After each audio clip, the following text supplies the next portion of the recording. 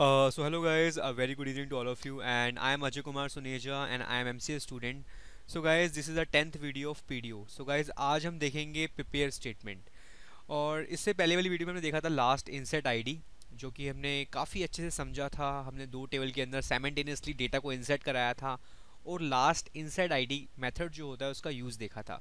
आज हम, आज मैं उसी वीडियो को तो कंटिन्यू नहीं करूँगा। आज हम नया टॉपिक देखेंगे प्रिपेयर स्टेटमेंट जो पूरा कंप्लीट तो नहीं समझेंगे बट थोड़ा सा देखेंगे कि प्रिपेयर स्टेटमेंट यूज़ कैसे करते हैं और एसक्यूएल इंजेक्शन से कैसे रिलेट करता है। तो एसक्यूएल इंजेक्शन वाली बात जितनी है, वो सारी हम, मैं जो आगे वीडियोस बताऊँगा आपको, इसी वीडियो की सीरीज़ में हम देखेंगे वो।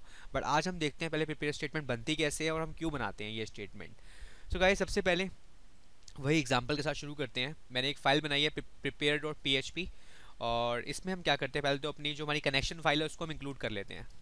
इंक्लूड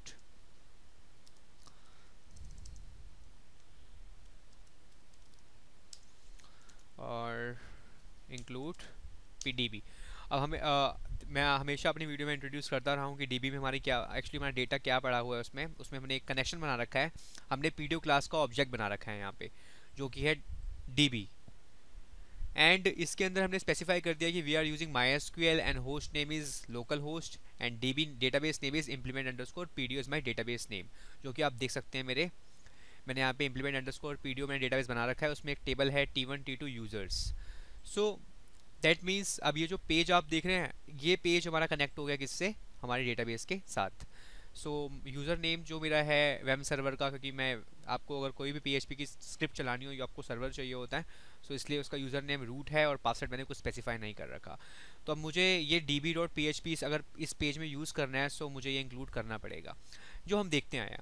सो गाइस सबसे पहले प्रिपेयर स्टेटमेंट को समझने से पहले, अभी आपने देखा होगा, अभी हम जो वीडियोस में करते आए हैं, सबसे पहले हम डी बी ऑब्जेक्ट से क्या बुलाते थे? क्वेरी और क्वेरी तो हम बुलाते थे मतलब क्वेरी फ़ंक्शंस क्या है? क्वेरी फ़ंक्शन जो है वो किसका किस क्लास के अंदर आता है? गाइज़ वो आता है पीडियो क्लास के अंदर। सो so, अगर मुझे वो कॉल करना हो तो मैं किसी ऑब्जेक्ट से ही कॉल करूँगा। तो डॉलर डी क्या है? ऑब्जेक्ट है किसका? पीडियो क्लास का। So that's why I am using arrow operator for calling query function तो इसमें अपनी मैं क्वेरी लिखते हम जिस जैसे हम देखते आए हम क्वेरी ऐसे लिख देते थे insert into and users values अब क्या क्या इंसर्ट करना है वो मैं स्पेसिफाई कर देता हूँ यहाँ पे क्योंकि हमारे जो यूज़र्स हैं, वो क्या हैं? फ़र्स्ट नेम और लास्ट सो मैं स्पेसिफाई कर देता हूँ. फ़र्स्ट नेम और लास्ट और यहाँ पे जो वैल्यू है, उसे हम इंसर्ट कर देते थे. कैसे? तरुण और सुनेजा. अगर मैं स्क्वायरी को भी रन कराऊँ तो आई थिंक ये इंसर्ट होगा, क्योंकि देखिए क्योंकि का रीज़न मैं भी आपको बताता हूँ। इसको सेव किया हमने ब्राउज़र पर चलते हैं। रिफ़्रेश किया। कोई एरर नहीं आया, चलते हैं यहाँ पे। हमने क्या एंट्री दी थी? तरुण सुनेजा। देखें ज़रा इसको रिफ़्रेश करेंगे कि एंट्री आती है। देख रहे हैं आप? तरुण सुनेजा। इंसर्ट हो गया। अब कहने का मतलब ये है कि जो क्वेरी फ़ंक्शन होता है ना, वो आपकी क्वेरी को डायरेक्टली एग्जीक्यूट कर देता है। ठीक है? बिना कुछ वेरीफाई करे, जो भी आपने इनपुट दिया उसको डायरेक्टली आपके डेटाबेस में इंसर्ट कर देगा। चाहे आप सिलेक्ट क्वेरी यूज़ कर लें चाहे आप अपडेट क्वेरी यूज़ कर लें चाहे आप डिलीट क्वेरी यूज़ कर लें। मैंने पिछली वीडियो में आप बहुत अच्छे से बताया था आपको ये चारों चीज़ें बट ये क्वेरी फ़ंक्शन डायरेक्टली एग्जीक्यूट कर देता है। हमारे पास ना एक और फ़ंक्शन होता है जिसका नाम है प्रिपेयर उसके बारे में बात करना चाहता हूँ मैं क्योंकि आज की जो वीडियो है हमारी वही है। तो उससे पहले आई थिंक मैं एक जो हमेशा करता हूँ आई थिंक जो ज़रूरी भी है आ, मैंने आज टाइटल नहीं दिया वीडियो का वो मैं दे देता हूँ। Okay sorry mm, so it's so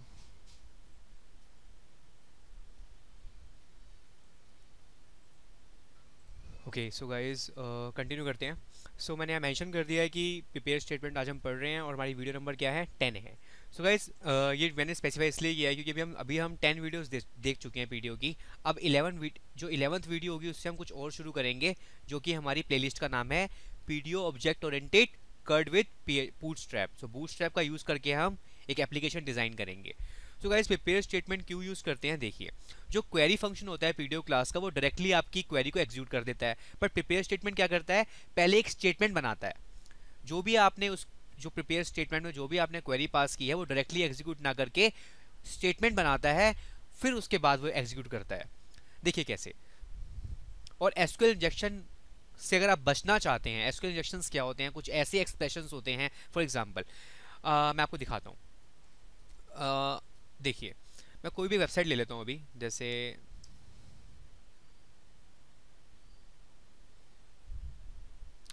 आ, जैसे मैंने ले लिया एक काम करते हैं मैं अपनी वेबसाइट ही ले लेता हूँ एन आई सी ब्लॉक ठीक है? एसक्यूएल इंजेक्शन हम भी हम आगे नहीं जो हमारी आगे जो हम, मैं वीडियोस बनाऊँगा, उसमें आपको ज़रूर दिखाऊँगा, जो हम बूट का यूज़ करके एप्लीकेशन अभी बनाने वाले हैं, उसमें हम ज़रूर देखेंगे एसक्यूएल इंजेक्शन बट मैं आपको फिर भी एक मीनिंग बताना चाहता हूँ इसलिए एसक्यूएल इंजेक्शन होता क्या है और कैसे दिखते हैं एसक्यूएल इंजेक्शन एक और हम टैप खोल लेते हैं।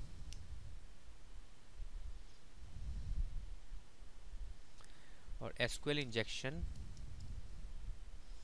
इन पीएचपी क्योंकि फिर मैं इसमें ही, क्योंकि ये जो वेबसाइट है है ना, ये मेरी एक्चुअली खुद की वेबसाइट बनाई है मतलब खुद की वेबसाइट मैंने कॉलेज के लिए बनाई थी अपने लॉगिन करते हैं। अब देखिए लॉगिन कोई भी अगर, जैसे मैं तो अभी यहाँ पे आप देख रहे हो, मैं कोड में खुद इनपुट दे रहा हूँ। तरुण एंड सुनेजा। बट ऐसा थोड़ी होता है, जब भी हम कोई एप्लीकेशन बनाते हैं तो वो इनपुट तो यूज़र साइड से ही आता है। एस हम बनाते हैं इनपुट यहाँ से देते हैं। अब देखिए अब ये लॉगिन पैनल है। कहीं ना कहीं ये डेटाबेस ड्रीवन है। डेटाबेस से मैच करेगा अगर वो मैच कर जाता है तो वो डेटाबेस में सक्सेसफुली लॉगिन मतलब होम पेज हमें मिल जाएगा। बट अगर मैं इसको बिना डेटाबेस से मैच करे और उसको लॉगिन करा दूँ तो दैट इज़ अ प्रॉब्लम वो तो मैंने इस, इसका कोड खुद लिखा है तो मैंने एसक्यूएल इंजेक्शन का ध्यान में रख कर ही कोड लिखा है। बट मैं आपको दिखाता हूँ जैसे फॉर एग्ज़ाम्पल देखिए एसक्यूएल इंजेक्शन कुछ ऐसे एक्सप्रेशन होते हैं अगर उनको आप यूज़ कर लें जैसे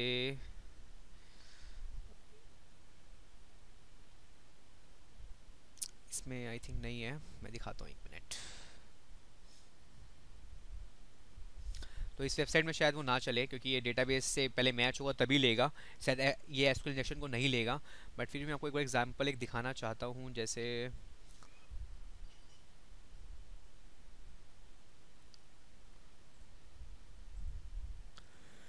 सो so गाइस जैसे मैंने गूगल पे लिखा type of SQL injections so मैं आपको दिखाता हूँ, जैसे मैंने डब्ल्यू थ्री स्कूल खोल लिया, ठीक है?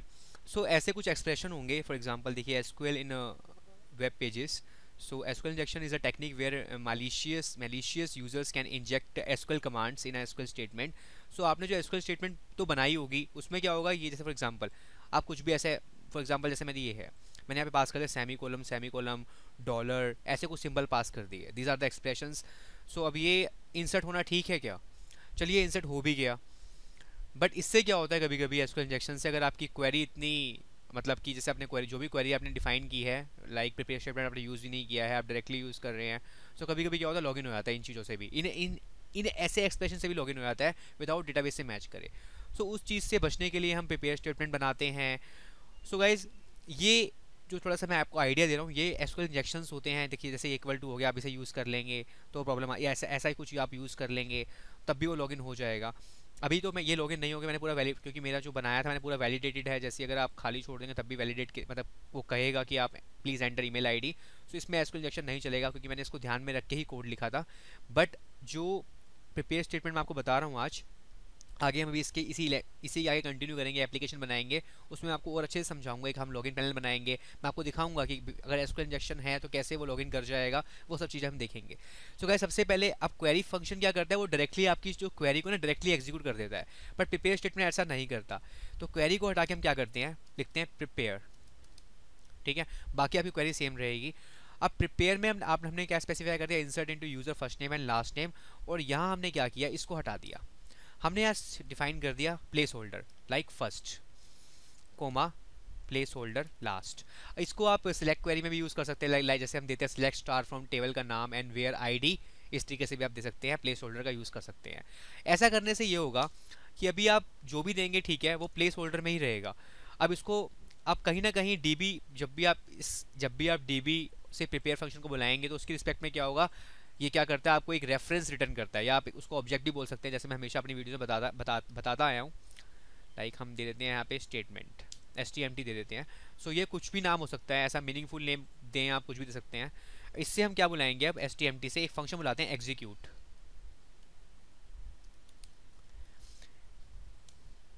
ठीक है? अभी अपने आप में क्या लेता है? एक एरे लेता है। एक आर्गूमेंट लेता है एरे इसमें हम क्या स्पेसिफाई करेंगे? इसमें हम स्पेसिफाई करेंगे सबसे पहले जो हमारा प्लेस होल्डर था, जिसका नाम क्या था? फ़र्स्ट उसको ऐसे कॉपी करेंगे।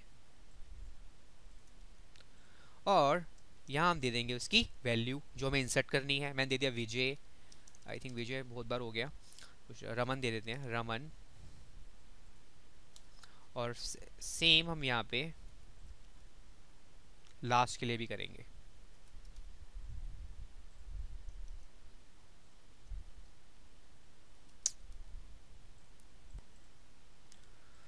Okay.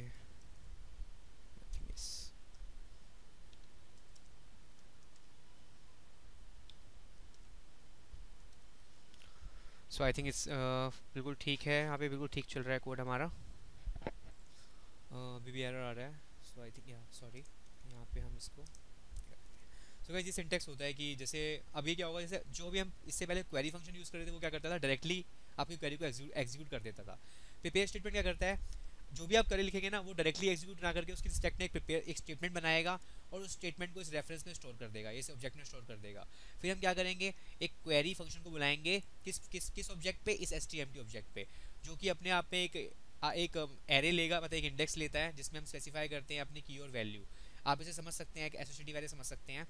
सो ये क्या है की और ये क्या है वैल्यू सो जो आपने यहाँ प्लेस होल्डर दिया है ना ऑटोमेटिकली क्या करेगा? इस फ़र्स्ट की जगह वो क्या कर देगा? क्या डाल देगा? रमन। और यहाँ पे लास्ट नेम क्या डाल देगा? शर्मा। एक बार इसको चला के देखते हैं क्या एग्जीक्यूट होती है क्वेरी या एरर आता है? सो so, डेटा में चलते हैं। देख रहे हैं आप? Raman Sharma. So so guys ये इंसर्ट हो गया रमन शर्मा। सो so, इस तरीके से देखिए मैं अभी एसक्यूएल इंजेक्शन को बिल्कुल इंट्रोड्यूस नहीं कर रहा बट मैंने आपको थोड़ा सा आइडिया दिया। एसक्यूएल इंजेक्शन कुछ ऐसे एक्सप्रेशंस होते हैं जो कि हम क्वेरीज में जब भी अपनी क्वेरी में, जब वो क्वेरी में, जैसे फॉर एग्जांपल मैं लिखा इंसर्ट करा रहा हूँ, और मैंने उसमें ईमेल आईडी और पासवर्ड में मैंने एसक्यूएल इंजेक्शन पास कर दिए कुछ ऐसे एक्सप्रेशन पास कर दिए।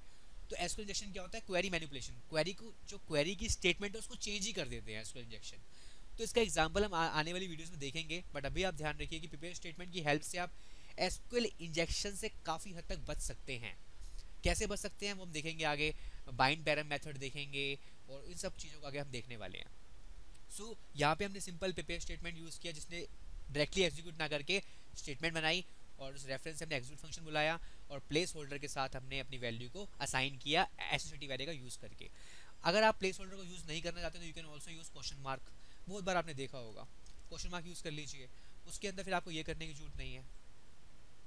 इसे आप ना यूज़ करें तो वही अच्छा है।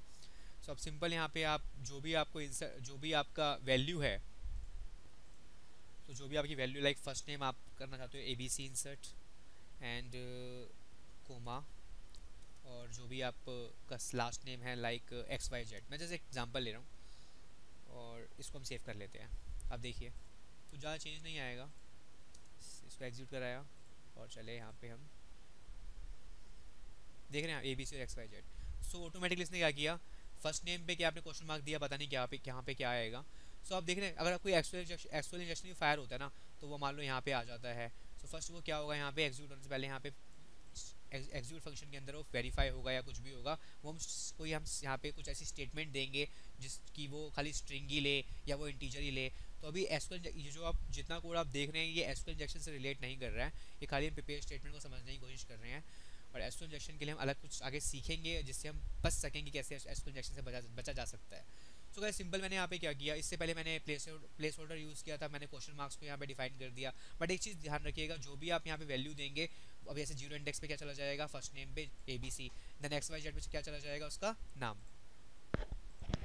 सो so, जैसा आप देख भी रहे हैं यहाँ पे डेटाबेस के अंदर आप ए बी सी हमारा ज़ीरो इंडेक्स पे आ गया X Y Z one index पे आ गया। सो so, आप क्वेश्चन मार्क भी यूज़ कर सकते हैं।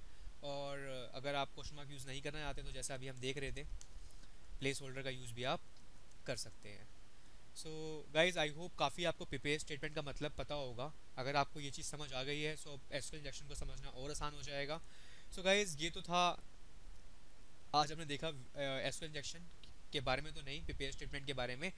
बट जो नेक्स्ट वीडियो हमारी रहेगी, जो रहेगी वीडियो नंबर इलेवन मैं आपको एक बार बताया तो हम आगे क्या करने वाले हैं और क्या सीखने वाले हैं, क्योंकि हमने पूरा पीडियो देखा, अपना टाइम हमने पूरा दिया पीडियो को बेसिक पीडियो को समझने के लिए।